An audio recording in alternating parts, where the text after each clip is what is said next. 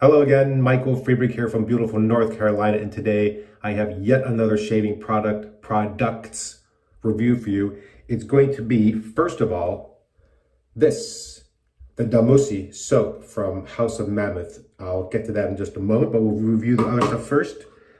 Also, this, I believe it's called the Gemini brush from Yaqi. It's a 24 millimeter badger, and I think I've had this in two different finishes. One's a chrome, and this is the matte and we're going to be using the chiseled face uh, legacy razor. Again, this is about three days worth of growth.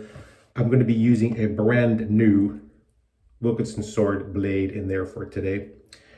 That wrapper goes directly into the garbage can. All right, let's get the blade in there. These are really plain looking blades, by the way. Very limited markings on there. That's about it. Base plate will go on. Yes, I'm using small washer Let's get that assembled and then we'll start talking about the soap. Get that screwed on there. There we go. Yep, beautiful. I don't think that razor is going to struggle with this growth really at all. All right. The soap, by the way, was very kindly gifted to me along with the matching aftershave, which we'll be finishing the shave with, um, by Ben himself at the Magard meetup. So he just, we arranged uh, for which scent to go for and that he mailed it off. I'm very happy to receive it. Uh, this has been a fantastic soap. Let me just show you what this looks like in the tin, well, the container, and then I'll put it, I'll show you the loading bowl. This has,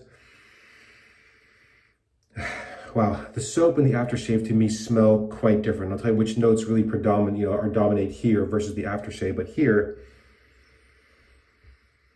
what I get is a slight, a slight musky kind of slightly dense floral with some citrus and what they describe as kind of a wet stone, that definitely comes through here as well. There's kind of a slight earthiness to it. And then there's also a little bit of pine in there, apparently Aleppo pine. And so I get like a sort of an overtones of the citrus, but more, I think it's the iris and the wet stone sort of come through for me in the soap. And, but it is a very, very nice scent, both in the soap and in the aftershave. This is a really rich, um, a really rich soap base. This has got duck fat and then beef tallow. I think there's babassu oil in there. There's muru muru butter, which I have never really heard of. Um, there's a variety of really nice skin-friendly ingredients in here. We'll talk about the performance in just a moment once I load it up in the loading bowl. But first, let's go through and get the brush good and wet. Yeah, Yaqi sent through two of these brushes, and it's a 24 millimeter silver tip um, in a matte and a chrome handle. Um, it's a cool looking handle. It's quite heavy. It's easy to grip because of those indentations, but it's this lip again. This part, I wish this was just smooth because you end up with your fingers kind of in an awkward position. I just wish it was continuous, but um, it has opened up quite a bit since I first started using it. did have some significant funk, but a couple lathers and that goes away. Clean it with the Zingari Man brush cleaner and a couple of times it was just gone. There is the soap pressed into the Captain's Choice loading bowl. I'm going to use a relatively wet brush. You can see it's already starting to drip a little bit. Um, the soap is really dense, really creamy, quite easy to load, but I would say don't start off with too dry brushes. I think you just won't pick up enough of the soap. I think this, this must be like an, an updated, an up-revved version, obviously, of the original Oleo Soapworks, because I think that's who he's working with to make these soaps. Um, they're fabricating it based on his formulation, but the presence of duck fat in there seems like a sort of a dead giveaway. And one with which I'm very happy, by the way. Those duck fat soaps were fantastic. Okay, you can see what's happening. There's kind of a very thick, dense, creamy lather starting to form. I'm going to add some water to that and just load a little bit more. You can see I've just dripped a little bit in there. Just make sure I get enough loaded on that brush. The brush is um, a nice mix between sort of dense, but not heavy dense, not, you know, over too structurally rigid. And it's not too floppy either. It's got a nice mix. So when you're actually painting or lathering, oh, that's, that's going to be beautiful. All right, I'm going to wet my face. Three days of growth. And put a little bit of water on the face of the brush as always. Make sure that that's wet as well. Now, I've shaved with this for the full week. And I've purposely on a couple days just used a you know, just really a little bit of soap and not very much water, just to get a feel for what that would be like. And even without enough water, still really nice and slick. You can see what's happening. Already starting to form a denser, creamier lather. That is still, still too dry. So just add a touch of water, just dipping the tips in the water.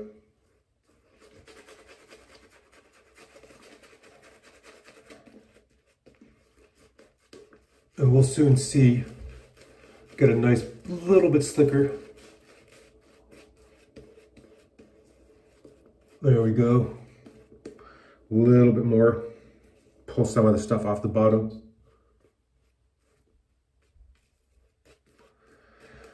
The scent, I would say, is mid-strong, a little bit less so off the lather than off the puck. And I also feel like it sort of separates into two more distinct notes once you lather it. So in this particular case, get a bit more distinct of the sort of the heavier notes.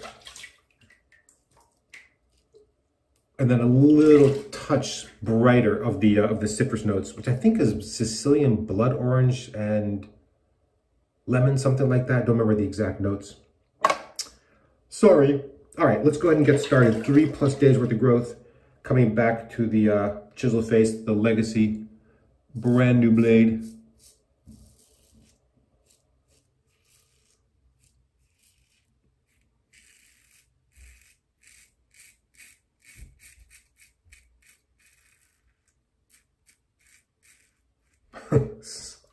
so easy, just zero struggle, no clogging.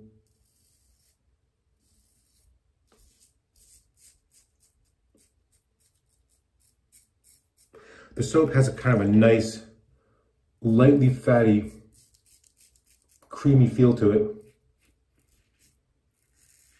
But it doesn't feel greasy at all or overly fatty.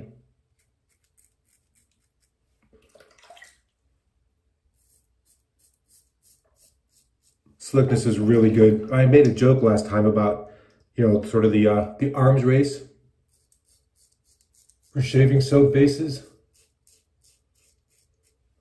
This is another one of those that's just so good.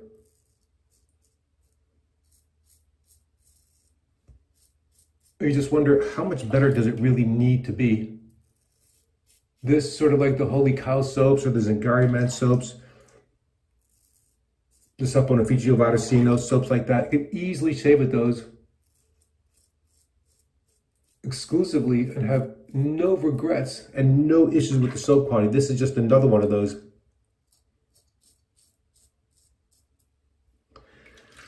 Really a lovely scent. I don't know if I'm the smaller category people that sort of, you know, detect a bit of a, a bit of a sort of overly, I don't know, overly, some of a heavy, slightly funky scent. Which I think might be the lily.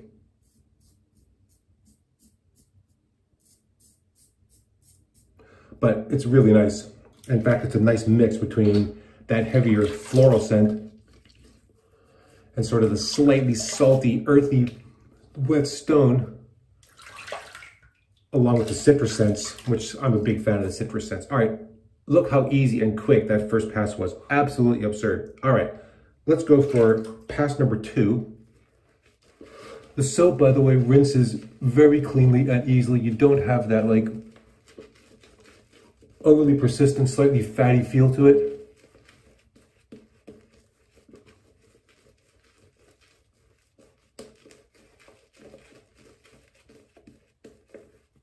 This may look a little thin, but I'm going to tell you, this is not going to matter at all in terms of slickness for these next two passes, which you want to make sure is you're getting a good slick layer, and this is nice and slick. Okay. Enough of the lather tomfoolery.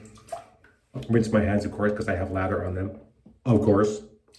All right, this is going to be the across the grain pass.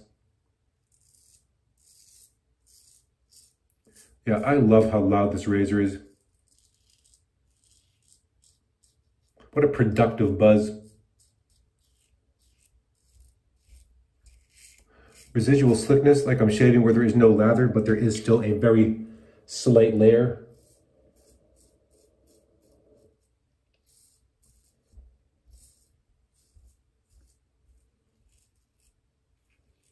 Yeah, very nice and smooth.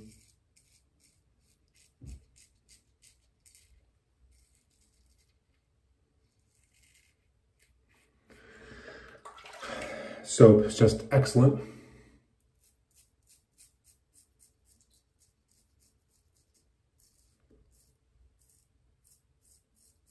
You know, it makes for such an easy shave, such a kind of a effortless combination of the right razor, right blade, good lather from a well-made soap. It's just such a joy. And I really feel bad for people that struggle because they have to shave and they have to make themselves shave and they hate the whole thing. They hate everything about it. And I realize, yes, you have to do a bit of work to get to this. You can't just start, you can't just buy something on Saturday and be an expert by Sunday and have no issues.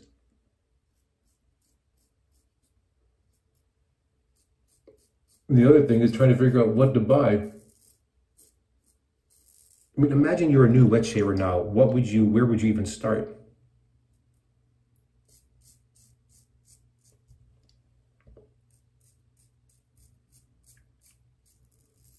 And you have so many amazing things to pick from that, yeah, I'm sure people are just paralyzed. Which is why I feel like it's always a good thing to continue to help people with starter kit recommendations because it is actually, you know, very easy to get started. It just takes a little bit of money and just a little bit of patience to figure out how to use these new tools. Rome wasn't built in a day and your face isn't going to get shaved. Anyway, eh, whatever. All right, third and final pass. Mm, yeah, very, very nice. I will say the first couple days using this brush, there was still a minor undertone of sort of wet fur. But that only took a day or two, really, when all was said and done, to kind of get rid of that. A couple brush cleanings, shave or two. All right, the Against the Grain Pass.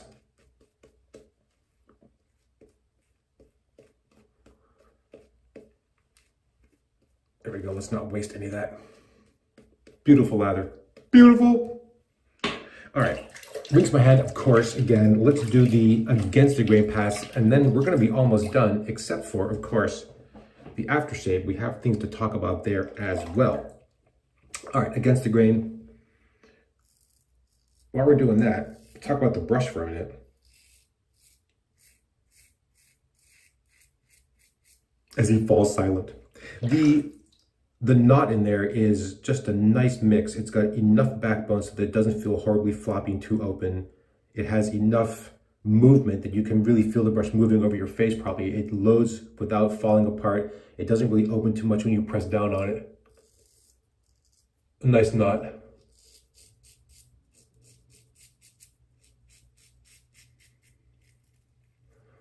I feel like for the badger knots, the overly dense ones, just too dense you don't get that nice mix of knot splay and structure.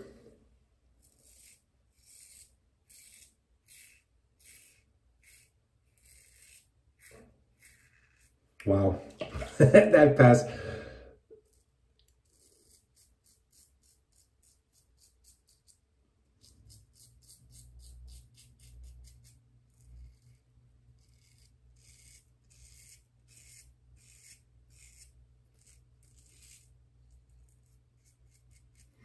This might in fact be too mild a blade.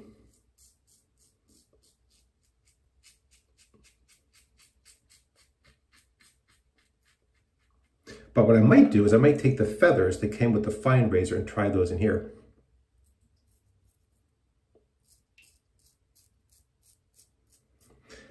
Just see how that works out.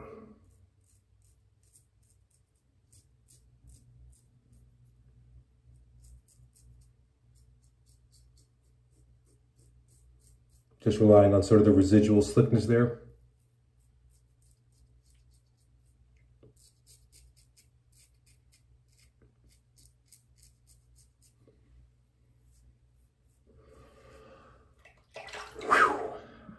Wow. Okay, well.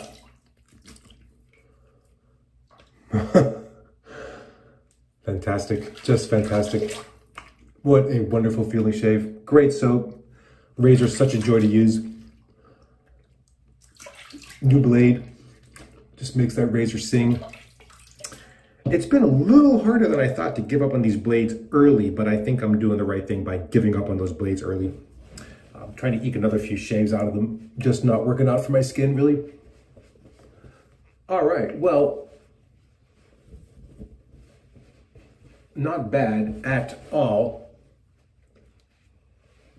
Oh, there's no errant, stray, embarrassing clods of aftershave or shaving lotion. Okay, good, good, good. No shaving soap left here.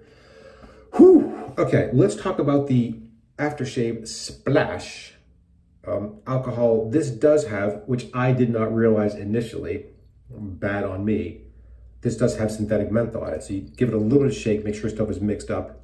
Um, I'm not going to put too much on. The artificial menthol is a very nice amount of cooling. It's not too cold. It's not like face freezing, but it is nice and brisk. And the scent on the aftershave, I'm not putting too much in my palm, just, I don't know, three or four shakes.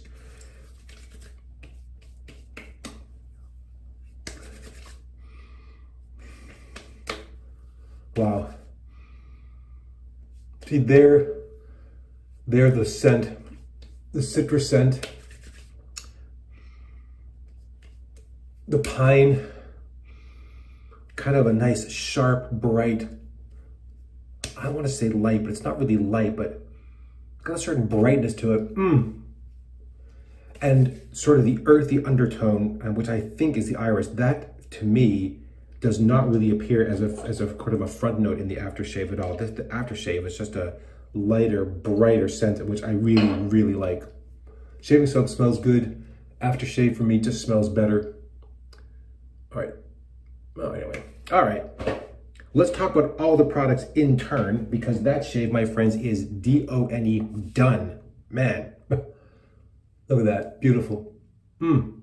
Did I nick myself down here a little bit? Yeah, maybe, maybe. This has lately been prone to a little bit of redness and irritation, but well, I don't know why.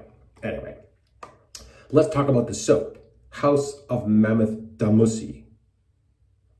What a beautiful scent and what a fantastic shaving soap. So easy to use, so easy to lather, great slickness, great protection, very easy to rinse, good residual slickness, and post-shave, it's pretty good. Oh, I think I can nicked myself one more time. Why? it just happens. Um, highly recommend that soap. Really, really good. And I I, am not sure about the other scents. I've never tried that soap before, so that's my first time using that in the first place. Very, very happy with that. The brush, also very nice. That It's a nice heavy handle. If you're looking for a heavier brush, you want a smaller, uh, a smaller badger knot silver tip, but one that does have a nice mix of structure and splay very soft, no scritch, very nice option if you're into badger brushes. They're kind of low on my list at the moment, but that's still a pretty good brush. Let's not forget, of course, the wonderful Legacy chiseled face. This I'm using this all the time. That's going to be between that and the carved aluminum on the C plate. Those two beautiful razors, beautiful.